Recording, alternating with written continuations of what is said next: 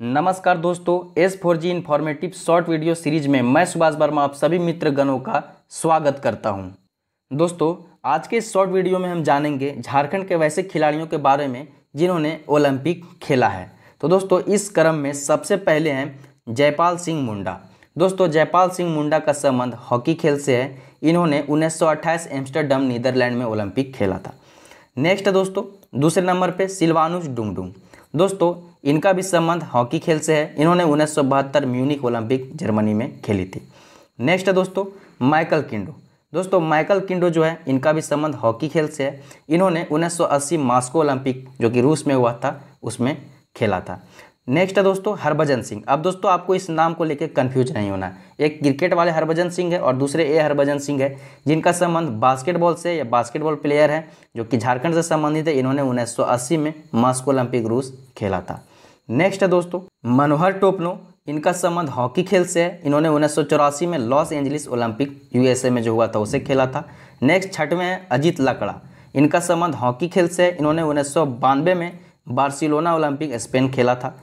Next है रीना कुमारी। दोस्तों रीना कुमारी का संबंध तीरंदाजी खेल से है। इन्होंने 2004 में अर्थस ओलंपिक जो कि ग्रीस में हुआ था उसमें पार्टिसिपेट लिया था। नेक्स्ट है दोस्तों दीपिका कुमारी।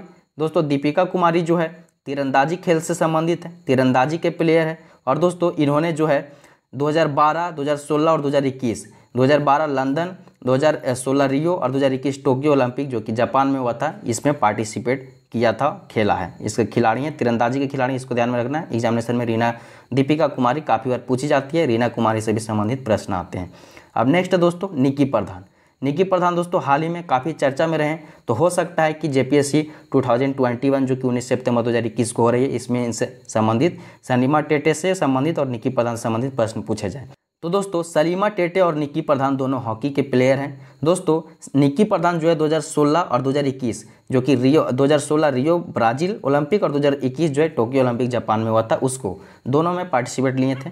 और सलीमा टेटे दोस्तों 2021 टोक्यो ओलंपिक जो कि जापान में हुआ था, इसमें खेले हैं। अब दोस्तों, आपको मेनली इनके नाम याद रखना है कि जयपाल सिंह मुंडा सिलवानुस डुंगडुंग माइकल किंडो, हरभजन सिंह, मनोहर टोपनो, अजीत लाकड़ा, रीना कुमारी, दीपिका कुमारी, निक्की प्रधान और सलीमा टेटे।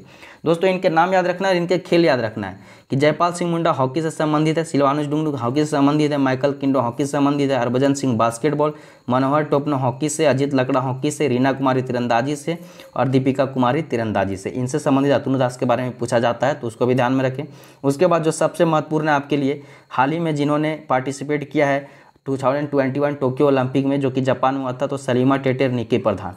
अब दोस्तों, इनको जो है, यहाँ पे आने पे झारखंड वापस आने में 50-50 लाख स्कूटी 4000 स्क्वायर फीट में घर वगैरह, झारखंड सरकार के द्वारा दिया गया है तो काफ़ी न्यूज़ में रहे तो इनसे संबंधित क्वेश्चन आ सकते हैं। दीपिका कुमार से संबंधित आ सकता है, क्योंकि इन्होंने हाल ही में बहुत अच्छा परफॉर्मेंस किया है, वर्ल्ड रिकॉर्ड बनाए हैं। उसके बाद यह भी प्रश्न आते हैं कि जो जयपाल सिंह मुंडा सिलवानुस डुंगडुंग, माइकल किंडो, इन तीनों के बारे में प्रश्न आते हैं, पूछा जाता है कि इन्होंने कब ओलंपिक में पार्टिसिपेट किया था तो इससे भी संबंधित चीज़ें आपको देख लेनी है। दोस्तों, यह जो फ़ोटो है, यह पीडीएफ आपको हमारे व्हाट्सएप ग्रुप टेलीग्राम ग्रुप में प्रोवाइड करवा दी जाएगी, वहाँ से आप इसे पढ़ सकते हैं तो इसको भी ध्यान में रखना है। अंततः दोस्तों, अगर आपको यह वीडियो पसंद आए तो वीडियो को लाइक कर ज़्यादा से ज़्यादा शेयर कर दें, ताकि अन्य मित्रों तक भी यह इन्फॉर्मेशन पहुँच सके। और अगर आप स्टडी फॉर गोल्स के इस यूट्यूब चैनल पर नए हैं तो चैनल को सब्सक्राइब कर ज़्यादा से ज़्यादा शेयर कर दें और बेल आइकन भी दबा दें, ताकि आपको चैनल पर आने वाले प्रत्येक वीडियो की जो नोटिफिकेशन है मिलती रही। अंततः जय हिंद जय झारखंड।